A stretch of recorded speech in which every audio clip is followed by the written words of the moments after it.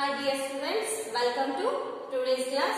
So in our previous classes, we have already completed the lesson. So that is what? Tissue.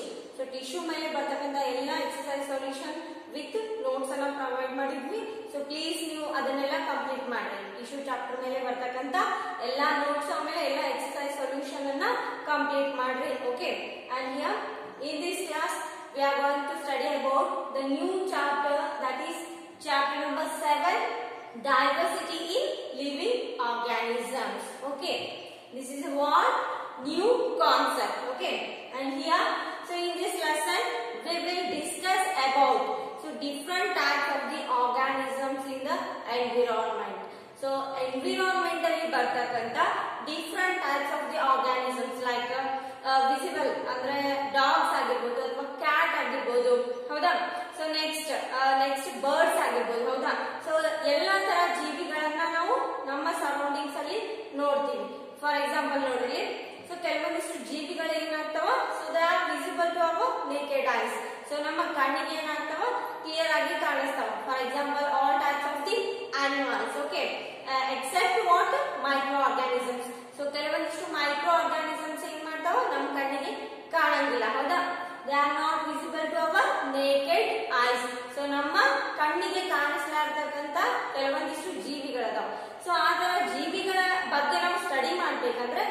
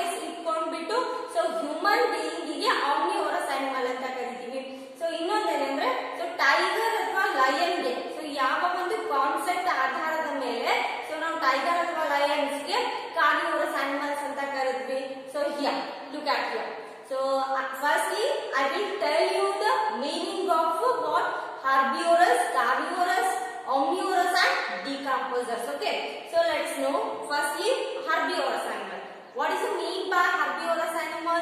Herbivorous animal ಅಂದ್ರೆ ಏನು?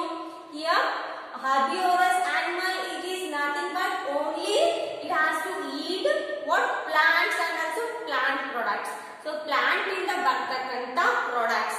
So for example wheat ಆಗಿರ್ಬೋದು ಹೌದಾ so ಹಣ್ಣುಗಳಾಗಿರ್ಬೋದು fruits ಆಗಿರ್ಬೋದು ಅಥವಾ vegetables ಆಗಿರ್ಬೋದು leaves ಆಗಿರ್ಬೋದು ಹೌದಾ ಸೊ ಕೆಲವೊಂದಿಷ್ಟು ಕವ್ ಕವ್ ಅವ್ರ ಬಫೆಲೋ ನೋಡ್ರಿ ಅಥವಾ ಗೋಟ್ ನೋಡ್ರಿ ಸೊ ಯಾವ ತರ ಆಹಾರವನ್ನ ತಿನ್ನುತ್ತೆ ತಿನ್ನುತ್ತೆ ಅದು ಅಂದ್ರೆ ಸೊ ಓನ್ಲಿ ಏನ್ ಮಾಡುತ್ತೆ ಸೊ ಲೀವ್ಸ್ ಅಥವಾ ಏನೋ ಬ್ರಾಂಚಸ್ ಅನ್ನ ತಿನ್ನುತ್ತೆ ಸೊ ಗಿಡಗಳ ಎಲೆಗಳನ್ನ ತಿಂದು ಬದುಕ್ತಾವ ಹೌದಾ So that type of the animals are called as a herbivorous animals.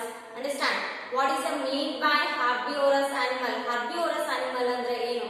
The animals which can eat only the plants and plant products. Okay. So ಅವಕ್ಕೆ ಏನಂತ ಕರಿತೀವಿ herbivorous animals ಅಂತ ಕರಿತೀವಿ. So ಕೇವಲ ಸಸ್ಯಾಹಾರಿಗಳಂತ ಏನ್ ಕರಿತೀವಲ್ಲ ಸೊ ಅದಕ್ಕೆ ಏನಂತ ಕರಿತೀವಿ herbivorous ಅಂತ ಕರಿತೀವಿ. So next uh, carnivorous animal. What is the mean by carnivorous?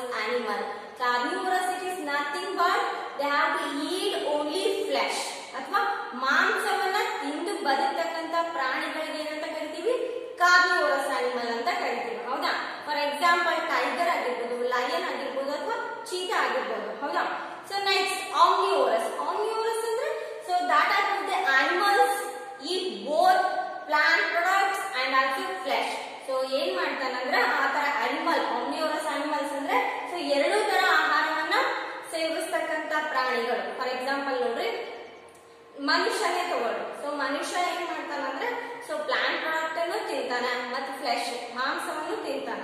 So ಅದಕ್ಕೆ ಏನಂತ ಕರಿತೀವಿ? ಆಮ್ನಿಯೋರಸ್ ಅನಿಮಲ್ಸ್ ಅಂತ ಕರಿತೀವಿ. ಹೌದಾ? So based on the concept of what food so here so they need food for the survival of life all living organisms, they need what? Food, water, shelter for the survival of their life. So, okay. So, based on these reasons so we can classify or we can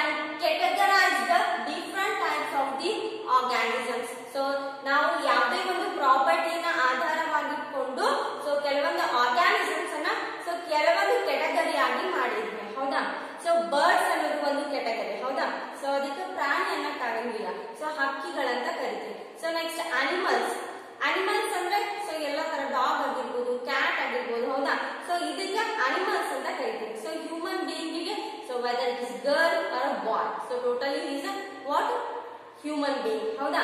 so ಈ ತರ ಏನ್ ಮಾಡಿದ್ದಾರೆ? So ಏನು? ನಮ್ಮ ಸುತ್ತಮುತ್ತಲೇ ಇರ್ತಕ್ಕಂತ ಜೀವಿಗಳಲ್ಲಿ so different categorise ಮಾಡಿದ್ದಾರೆ. Okay so based on their features based on their living style based on their food style and based on their what different type of the what shelters okay so for example ನೋಡಿ. So ಹಕ್ಕಿಗಳು ಏನ್ ಮಾಡ್ತಾವ? ಗೂಡಲ್ಲಿ ಏನಿರ್ತಾವ so next ಅಲ್ಲಿ ಇರ್ತಾವ. ಹೌದಾ? So human being ಏನ್ ಮಾಡ್ತಾರ? ಮನೆಗಳನ್ನ ನಿರ್ಮಾಣ ಮಾಡ್ಕೊತಾನ ಸೊ ಅದೇ ತರ ಪ್ರಾಣಿಗಳು ಕೂಡ ಸೊ ತಮ್ಮ ಪ್ರೊಟೆಕ್ಷನ್ ಸಲುವಾಗಿ ಕೋಲ್ಡ್ ಆಗ್ಲಿ ಅಥವಾ ಹೆವಿ ರೇನ್ ಆಗ್ಲಿ ನೆಕ್ಸ್ಟ್ ಸನ್ ಏನು? ಸನ್ ಲೈಟ್ ಇಂದ ಆಗ್ಲಿ. ಸೊ ಈ ತರ ಏನಂದ್ರೆ ಸೊ ಎಲ್ಲಾ ತರ ಜೀವಿಗಳು ಏನ್ ಮಾಡ್ತಾವ? ಸೊ ಪ್ರೊಟೆಕ್ಷನ್ ಸಲುವಾಗಿ ಸೊ ತಮ್ಮ ಗೂಡುಗಳನ್ನ ಕಟ್ಕೊಂಡಿರ್ತಾವ ಹೌದಾ? ಸೊ ಈ ತರ ಗೆ ಡಿಫ್ರೆಂಟ್ ಕ್ಯಾಟಗರಿಯನ್ನ ಮಾಡಿದ್ದಾರೆ okay so let us know about more concept on this lesson diversity in living organism okay so here firstly what uh, we are going to begin with this lesson uh, from what introduction to the taxonomy okay so look at here firstly diversity what is the mean by diversity here diversity is nothing but here, the presence of the different types of the organisms in the same ecosystem. So, ನೀವು observe ಮಾಡಬಹುದು so ಒಂದೇ ಒಂದು ecosystem so ನಮ್ಮ ಸುತ್ತಮುತ್ತಲು ಕಾಣ್ತಕ್ಕಂತ ಒಂದು ಪ್ರದೇಶದಲ್ಲಿ ಏನು, ಯಾವ ತರ ಜೀವಿಗಳು ವಾಸಿಸ್ತಾವ ಸೊ ಕೇವಲ ಮನುಷ್ಯ ಅಷ್ಟೇ ಸಾಧ್ಯ ಇಲ್ಲ. ಕೇವಲ ಕೇವಲ ಪ್ರಾಣಿಗಳಷ್ಟೇ ವಾಸಿಸ್ಲಿಕ್ಕೆ ಸಾಧ್ಯ ಇಲ್ಲ. ಹೌದಾ? So different type of which are surrounded by us ಹೌದಾ? ಸೊ ನಮ್ಮ ಸುತ್ತಮುತ್ತಲು ಏನ್ ಮಾಡ್ತೀವಿ? ಸೊ ಡಿಫ್ರೆಂಟ್ ಅಂದ್ರೆ ವಿವಿಧ ರೀತಿಯಲ್ಲಿ ಆರ್ಗ್ಯಾನಿಸಮ್ಸ್ ಅಥವಾ ಅನಿಮಲ್ಸ್ ಅನ್ನ ನೋಡ್ತೀವಿ. ಹೌದಾ? Yeah diversity is nothing but the presence of the different types of the organisms in the same ecosystem ಹೌದಾ? ಸೊ ಒಂದೇ ಪರಿಸರದಲ್ಲಿ ಸೊ ಅನೇಕ ರೀತಿಯ ಜೀವಿಗಳು ಏನ್ ಮಾಡ್ತಾವ ಜೀವಿಸ್ತಾ ಇರೋದಕ್ಕೆ ಏನಂತ ಕರಿತೀವಿ ಡೈವರ್ಸಿಟಿ ಅಂತ ಕರಿತೀವಿ ಹೌದಾ and here diversity gives a chance for more balanced ecosystem so how it causes the balanced ecosystem what is the mean by balanced ecosystem so do you uh, do you know the meaning of the balancing so ನೀವು ನೋಡ್ರಿ so ಒಂದು ತಕ್ಕಡಿಯನ್ನ ಹಿಡ್ಕೊಳ್ರಿ ಹೌದಾ so balance ಮಾಡ್ತೀರಿ so same so same weight ಇರೋದು ಆ, ಎರಡು ಆಬ್ಜೆಕ್ಟ್ ಅನ್ನ ತಗೊಂಡ್ರೆ ನಾವು ಸೇಮ್ ವೇ ಅನ್ನ ಬ್ಯಾಲೆನ್ಸ್ ಮಾಡಬಹುದು ಅದೇ ತರ ಪರಿಸರದಲ್ಲಿ ಯಾವ ರೀತಿ ಬ್ಯಾಲೆನ್ಸ್ ಮಾಡಬಹುದು ಸೊ ನಿಮಗ್ ಗೊತ್ತಿದ್ದಂಗ ಬ್ಯಾಲೆನ್ಸ್ ಅಂದ್ರೆ ತಕ್ಕಡಿ ಹಿಡ್ಕೊಂಡು ಮಾಡೋದು ಬಟ್ ಈ ಎಕೋಸಿಸ್ಟಮ್ ಅಲ್ಲಿ ಬ್ಯಾಲೆನ್ಸ್ ಅಂದ್ರೆ ಏನು ಫಾರ್ ಎಕ್ಸಾಂಪಲ್ ನೋಡ್ರಿ ಇನ್ಸೆಕ್ಟ್ಸ್ಗೆ, ಹೌದಾ? ಸೊ ಇನ್ಸೆಕ್ಟ್ ಏನನ್ನ ತಿಂದು ಬದುಕ್ತಾವ ಸೊ ಕೆಲವೊಂದಿಷ್ಟು ಸಣ್ಣ ಕೀಟಗಳನ್ನ ತಿಂದು ಬದುಕ್ತಾವ ಕೆಲವೊಂದಿಷ್ಟು? ಸೊ ಇನ್ನು ಕೆಲವೊಂದಿಷ್ಟು ಗಿಡದ ಎಲೆಗಳನ್ನ ತಿಂತಾವ ಹೌದಾ? So next insect next frog ತಗೊಳ್ರಿ ಸೊ ಫ್ರಾಗ್ ಏನನ್ನ ತಿಂತೈತಿ? ಇನ್ಸೆಕ್ಟ್ಸ್ ಅನ್ನ ತಿಂತೈತಿ. So next it is nothing but what food chain snake ಏನ್ ಮಾಡ್ತೈತಿ? ಫ್ರಾಗ್ ಅನ್ನ ತಿಂತೈತಿ. ಸೊ ನೆಕ್ಸ್ಟ್ ಈಗ ಈಗ ಏನ್ ಮಾಡ್ತೈತಿ? ಹಾವನ್ನ ತಿಂತೈತಿ. ಸೊ ಇದೇ ತರ ಏನಾಗಿರ್ತೈತಿ ಫುಡ್ ಚೈನ್ ಕಂಟಿನ್ಯೂಸ್ ಆಗಿ ಇರ್ತೈತಿ so if any of the what organisms is absent in the food chain what it will happen? So automatically uh, here ಏನಾಗುತ್ತೆ ಅಂದ್ರೆ ಇಲ್ಲಿ ಸೊ ಆಟೋಮೆಟಿಕಲಿ ಆ ಆರ್ಗ್ಯಾನಿಸಮ್ಗೆ ಸಂಬಂಧಪಟ್ಟ ಜೀವ ಸಂಕುಲ ಹೆಚ್ಚಾಗ್ತಾ ಬರುತ್ತೆ. ಸೊ ಆಮೇಲೆ ಏನಾಗುತ್ತೆ? ಆಹಾರದ ಕೊರತೆ ಎದುರಾಗುತ್ತೆ. ಫಾರ್ ಎಕ್ಸಾಂಪಲ್ ನೋಡ್ರಿ ಇಲ್ಲಿ, ಆ, ಈಗ ರೀಸೆಂಟ್ಲಿ ಪಾಪ್ಯುಲೇಷನ್ ನೋಡಿದ್ದೀರಾ? ಹೌದಾ? So here according to the recent population here day by day our population also increases so here what is the main reason for this so here uh, as our population increases the scarcity of the food also arises ಹೌದಾ so ಕೆಲವೊಂದಿಷ್ಟು ಜನರಿಗೆ ಏನಾಗುತ್ತೆ so food ಕೊರತೆ ಆಗುತ್ತೆ shelter ಕೊರತೆ ಆಗುತ್ತೆ so ಅದೇ ತರನೇ ಇಲ್ಲಿ ಎಕೋಸಿಸ್ಟಮ್ ಅಲ್ಲಿನೂ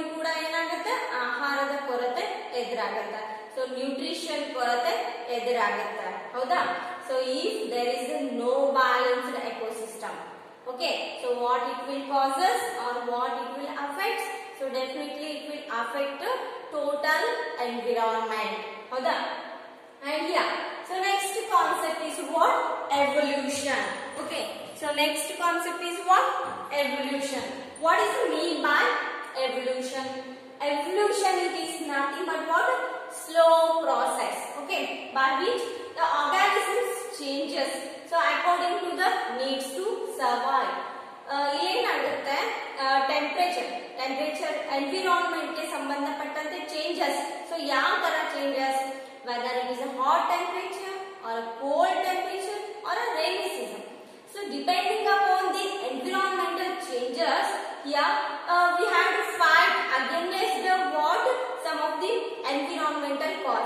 ಹೌದಾ? ಸೊ ಯಾವುದೇ ಒಂದು ಎನ್ವಿರಾನ್ಮೆಂಟ್ ಕಾಸಸ್ ಆಗಿರ್ಬೋದು ಫಾರ್ ಎಕ್ಸಾಂಪಲ್ ಯಾವುದೇ ತರ ವೆದರ್ ಏನಾಗಿರುತ್ತೆ, ಜಾಸ್ತಿ ಕೋಲ್ಡ್ ಆಗಿರುತ್ತೆ ಸೊ ಜಾಸ್ತಿ ಹಾಟ್ ಆಗಿದ್ರು ಕೂಡ ಏನ್ ಮಾಡ್ತೀವಿ? ಸೊ ನಮ್ಮ ಬಾಡಿ ಸೊ ನಮ್ಮ ದೇಹ ಸೊ ನಾರ್ಮಲ್ ರೇಂಜ್ಗೆ ಇಡ್ಲಿಕ್ಕೆ ಏನ್ ಮಾಡ್ತೀವಿ? ಟ್ರೈ ಮಾಡ್ತೀವಿ, ಹೌದಾ? ಸೊ ಅದೇ ತರ ಏನ್ ಮಾಡ್ತೈತೆ ಅಂದ್ರೆ ಸೊ ನಮ್ಮ ಎಕೋಸಿಸ್ಟಮ್ ಅಲ್ಲಿ ಇರ್ತಕ್ಕಂಥ ಪ್ರತಿಯೊಂದು ಜೀವಿನೂ ಸೊ ತಾನು ಜೀವ ಇರ್ಬೇಕು ಅಂದ್ರೆ ಸೊ ಯಾವಾಗ್ಲೂ ಎನ್ವಿರಾನ್ಮೆಂಟ್ ಜೊತೆ ಫೈಟ್ ಮಾಡ್ತಾನೆ ಇರುತ್ತೆ ಹೌದಾ? ಸೊ ಯಾವುದೇ ಒಂದು ಎನ್ವಿರಾನ್ಮೆಂಟ್ ಚೇಂಜಸ್ ಆದ್ರೂ ಕೂಡ ಏನಾಗುತ್ತೆ? ಸೊ ಎಲ್ಲ ಆರ್ಗ್ಯಾನಿಸಮ್ಸ್ ಬದುಕ್ತಕ್ಕಂತ ಒಂದು ಕೆಪಾಸಿಟಿಯನ್ನ ಹೊಂದಿರ್ತಾವ, ಹೌದಾ? ಅಂಡ್ ಹಿಯರ್ ಯಾವ ತರ ಅಂದ್ರೆ ಫಾರ್ ಎಕ್ಸಾಂಪಲ್ ನೋಡಿ, ಜಿರಾಫೆ. ಸೊ ಜಿರಾಫೆ ಏನಾಗುತ್ತೆ? ಏನು? ಕಾಡಲ್ಲಿ ಇರ್ತಕ್ಕಂತ ಲೀವ್ಸ್ ಅನ್ನ ತಿಂದು ಬದುಕುತ್ತೆ. ಆಮೇಲೆ ಆನೆಗಳು ನೋಡ್ರಿ ಸೊ ಅದೇ ತರ ಚಿಕ್ಕ ಚಿಕ್ಕ ಪ್ರಾಣಿಗಳನ್ನ ನೋಡ್ರಿ ಮೊಲ ನೋಡ್ರಿ ಸೊ ಮೊಲ ಏನ್ ಮಾಡುತ್ತೆ ಸೊ ಕೆಳಗಡೆ ಇರ್ತಕ್ಕಂಥ ಗ್ರಾಸ್ ಅನ್ನ ತಿಂದು ಬದುಕ್ತೈತೆ ಸೊ ಅದು ಮೇಲ್ಗಡೆ ಇರ್ತಕ್ಕಂಥ ಲೀವ್ಸ್ ಅನ್ನ ಏನಾಗಂಗಿಲ್ಲ ಅದಕ್ಕೆ ಮೇಲ್ಕಂಗಿಲ್ಲ ಅದೇ ತರ ಪ್ಲಾಂಟ್ಸ್ ಸಾರಿ ಐಲಿಫಾಂಟ್ಸ್ ಏನ್ ಮಾಡ್ತಾವ? ಸೊ ಮೇಲೆ ಇರ್ತಕ್ಕಂಥ ಲೀವ್ಸ್ ಅನ್ನ ತಿಂತೈತಿ ಸೊ ಇದೇ ತರ so every organism has a capacity to survive their life understand so ಯಾವುದೇ ಒಂದು ಜೀವಿ ಆಗಿರ್ಬೋದು ಸೊ ತನ್ನ ಜೀವ ಏನು ಇರಬೇಕು ಅಂದ್ರೆ ಸೊ ತನ್ನ ಜೀವನನ ನಡೆಸಬೇಕಂದ್ರೆ they have a capacity to survive their life okay so whatever it is a struggle okay and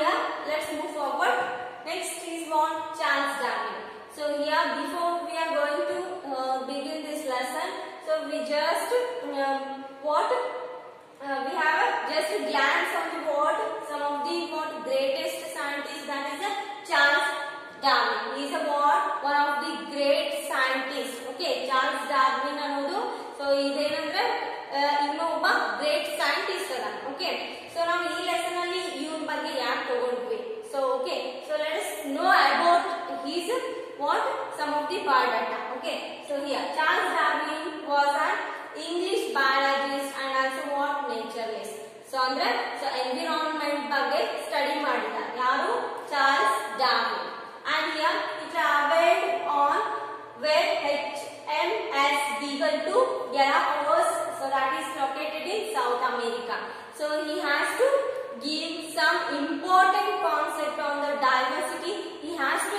invest.